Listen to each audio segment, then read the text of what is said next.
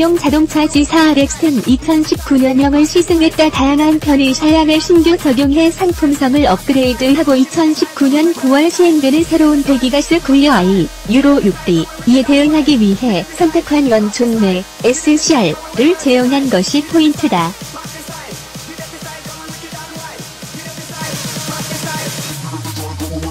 쌍용 G4 아이쿠시스는 2019년형의 시승 느낌을 적는다 글 재영석 글로벌 오톤 뉴스 국장 안팎으로 어렵다 7월부터 시작된 중국 시장의 신차 판매 감소는 9월 급락으로 이어졌다. 3, 4분기 전 세계 대부분의 자동차 회사들의 판매가 하락했다 미중 무역 분쟁으로 인한 것이라는 분석이 많다. 거기에 버블로 먹고 사는 자본주의의 주기적인 부침까지 더해 상황은 악화 일로에 있다. 자본주의를 폐기하지 않는 한 근본적인 해결책은 없다. 그 이야기는 어려움을 극복하면 또 상승 곡선을 탈 수도 있다는 것이다. 20세기 말 외환위기 때 모든 수입차 업체들이 철수할 때 BMW만이 적극적으로 투자의 시장에서 주도권을 장악했던 역사가 있다.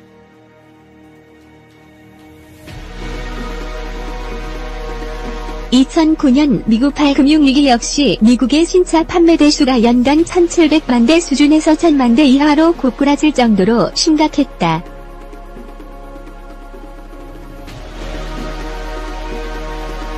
하지만 시간이 걸렸지만 다시 1700만 대선을 회복했다. 다시 10년 만에 글로벌 경제위기에 암울한 그림자가 드리워져 있다. 20세기 말에 시작된 세계화는 중국이라는 거대 공장과 시장을 만들었다.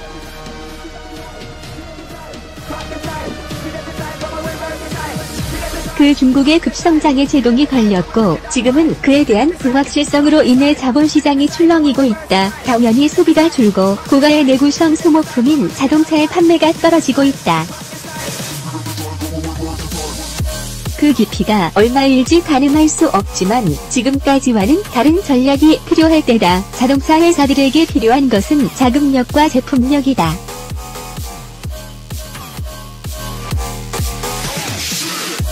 지구력과 체력이라고 표현할 수 있다. 시장 5위에 설 수 있는 제품으로 체력을 강화해 지구력을 키워야 한다. 최근 등장하는 신차들이 그런 흐름을 반영하고 있는지 짚어볼 필요가 있다.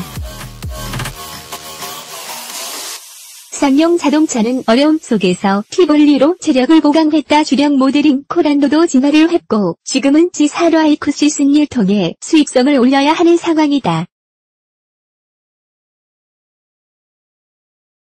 시장과의 소통을 통해 소비자가 원하는 것을 시차 없이 제공해야 한다. 데뷔한 지 1년 반 만에 소비자들의 발기를 잡기 위해 상품성을 향상시킨 것은 그런 흐름을 읽고 있다고도 해석할 수 있다.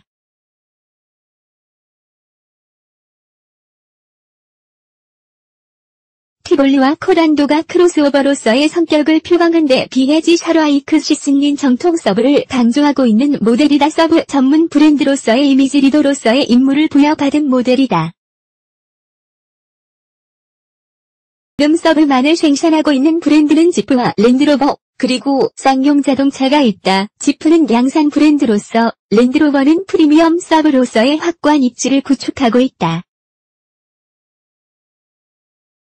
쌍용이 나가야 할 방향성이 필요한 때이고 지사로아이쿠시스님 그것을 소비자들에게 어필할 수 있어야 한다. 각각의 제품을 통해 브랜드가 지향하는 바를 실현하고 그것을 형상화해 시장과 소통해야 한다.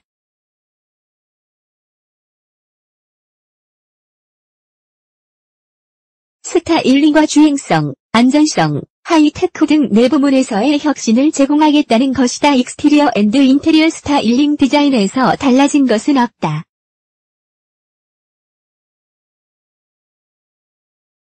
인치 휠의 디자인을 바꾸고 터치 sensing 도어를 적용한 정도다 G4 렉스턴은 frame on body 구조의 SUV다 기아 모하비와 지프 랭글러 등을 제외하고 거의 대부분이 모노코크 플랫폼을 베이스로 하고 있는 오늘날의 추세를 감안하면 의외의 선택이다.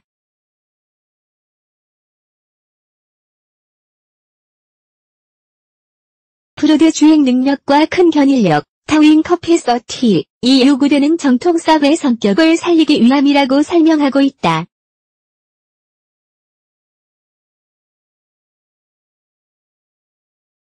전체적으로는 웅장함을 표현해 존재감을 강조하고자 한 흔적이 보인다. 앞 얼굴에서는 쌍용의 새로운 패밀리룩 숄더윙 그릴이 중심을 잡고 있다.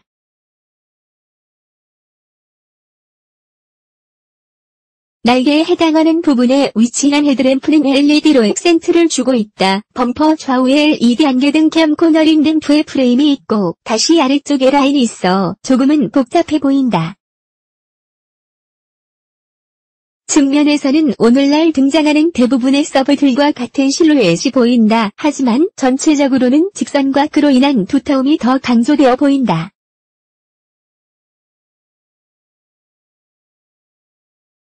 거기에 앞뒤 펜더 위의 캐릭터 라인으로 억양을 살려 강인함을 표현하고 있다. 무엇보다 20인치 휠이 주는 위압감이 인상적이다. 다만 휠하우스의 그래픽으로 인해 그 크기가 강조되어 보이지는 않는다.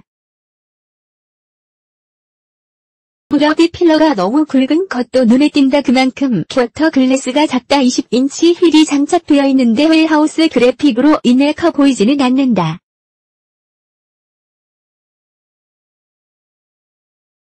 인테리어는 변화가 많다. center fascia 가운데 자리한 92인치 터치 스크린을 중심으로 한 전체적인 분위기는 여전히 간결하다. 7인치 TFT LCD supervision cluster는 여전히 세일즈 포인트다. 2019년형에서는 동승석 walk-in, walk-in, device와 운전석 전동식 요추 받침대, 사방향, 다 새롭게 적용됐으며 2열 armrest tray가 추가되고 스마트폰 거치가 가능한 cup holder가 적용됐다.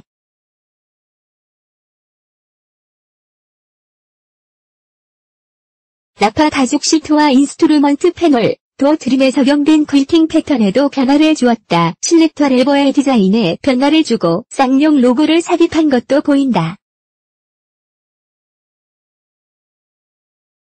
door handle과 air vent의 컬러도 dark silver로 바꾸었다. Apple CarPlay와 Android Auto에 대응한다. 시트는 7인승 나파 가죽을 적용한 앞 시트의 착자감과 지지성은 훌륭하다. 전체적인 느낌은 안락함이 2열 시트는 40, 60 분할 접이식 엉덩이 부분의 레버를 당겨 seat back을 젖히고 다시 허벅지 부분의 레버를 당겨 folding시킬 수 있다. 열시트로의 접근이 편하지는 않다 3열시트도 보조석 개념으로 생각하는 것이 좋을 듯 싶다. 좌우 넓이와 머리 공간은 문제가 없지만 발 공간이 협소하다. powertrain and impression powertrain의 변화는 없다. 엔진은 2157cc 직렬 4기통 디젤로 코란도에도 탑재되는 것과 같지만 튜닝을 통해 성능을 증강했다. 최고 출력 187PS/4900rpm, 최대 토크 43영 kgm/1600 물결 2600rpm을 발휘한다. 변속기는 메르세데스 벤츠에서 공급받는 7달렛 수동 모드가 있으며 selector lever 왼쪽의 버튼으로도 조작이 가능하다. 구동 방식은 differential lock이 있는 part time 4WD 통상시에는 트랜스퍼를 EH로 두고 뒷바퀴만으로 달리다가 험로를 만나면 4H나 4L로 바꾸어 달릴 수 있다.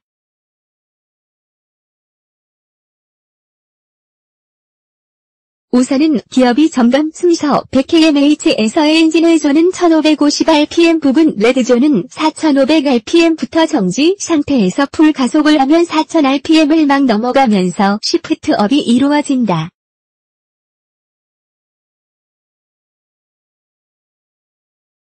(35kmh에서 2단) (60kmh에서 3단) 95kmh에서 4단으로 변속이 진행된다. 시내 주행 시의 가속감과 풀스로틀 시의 느낌이 다르다. 성적인 감각으로 주행하면 무리 없이 전진하는데 반해 풀 가속을 하면 시프트업이 매끄럽지 못하다 2톤에 가까운 차체 중량이 느껴진다.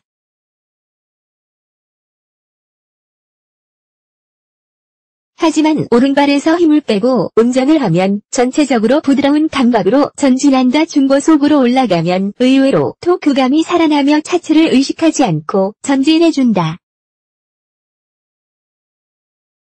흔히 말하는 실용 영역에서의 응답성은 필요 충분하다. 다시 오른발에 힘을 주면 속도계의 바늘이 일정 수준까지는 부담 없이 올라간다.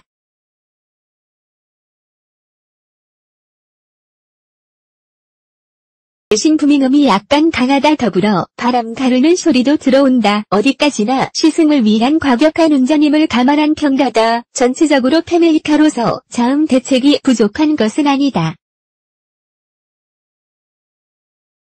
서스펜션은 앞 double wishbone, 뒤 5 link damping stroke는 길다. 노면의 상 충격은 거의 흡수하며 지나간다. 일상적인 주행에서는 프레임 차체라는 것을 거의 의식하지 않고 달릴 수 있다. 그보다는 quad 프레임 구조를 채용한 차이만큼 험로에서 진가를 느껴볼 필요가 있다. 한국 시장에서는 견인력에 대한 수요가 많지 않지만 G4 렉스턴은 그 부분을 강조하고 있다. 시장에서 인정받아야 하는 부분이다. steering wheel을 중심으로 한 handling 특성은 약 under steering wheel의 응답성은 여유가 있는 편.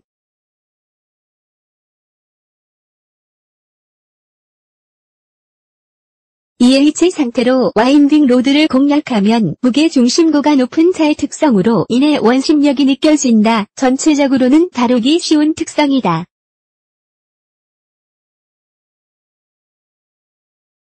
ADAS 장비로는 긴급 제동, 보조 시스템, 전방 추돌 경보 시스템, 차선 이탈 경보 시스템, high beam assist, 사각지대 및 후측방 경보 시스템 등이 적용되어 있다. around view monitor는 오늘날 필수 아이템으로 부상해 있다 ACC 대신 cruise control만 있다. 이런 장비들에 대해서는 평가를 위한 시승자들 입장에서는 이러저러한 평가를 할 수 있겠지만 사용자 입장에서는 그만큼 비싼 차값이 부담일 수도 있다.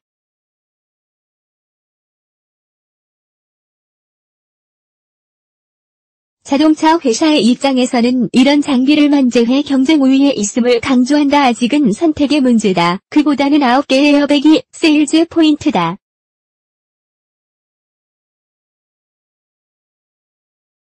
G4 렉스턴은 쌍용의 flagship 모델이다. 브랜드가 지향하는 바를 잘 드러내야 하는 모델이라는 얘기이다. 쌍용 자동차는 실용적인 luxury를 캐치프레이즈로 내걸고 있다.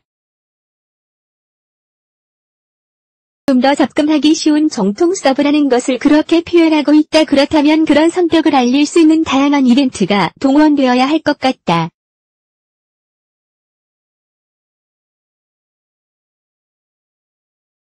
사용자들과의 접점을 더 넓혀야 한다는 얘기이다. 오늘날 소비자들은 직접 체험하는 것을 중시한다. 주요 제원 2019 쌍용 G4 렉스턴 크기 전장 10전폭 10전구 4.850101 96만 101.825mm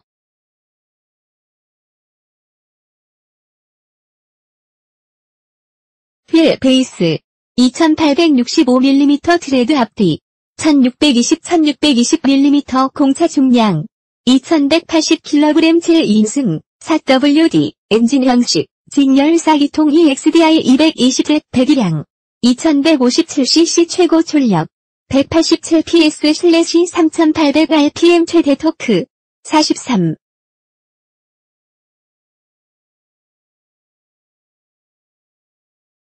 AGM 슬래시 1600 물결이 1600rpm 연료 탱크 용량 73리터 변속기 형식 자동 7단 기업이 최종 감속비 셰시 서스펜션 앞뒤 더블 위스본 멀티 어드밴스드 마제스티 헤리테지 브레이크 앞뒤 V 디스크 스티어링 백엔드 피니언 구동 방식. 사륜 구동 타이어. 255-50R 23인 양축 코 100kmh 가속시간, 최고 속도, 보카변비. 10.